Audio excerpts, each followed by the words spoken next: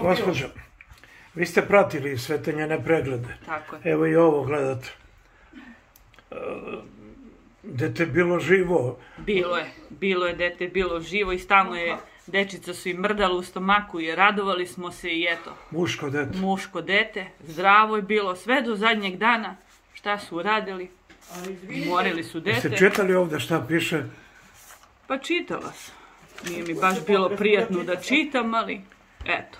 Kako se ona osjećala posljednjih dana? Jel imala neke... Sasvim je u redu bila, super. sasvim je bila i vesela i sve u redu, nikakve probleme nije imala, niti neke bolove sve do, dok nije krenulo normalno kako i treba Da, porodici. termin kad je da. Spremili ste sobu, sve.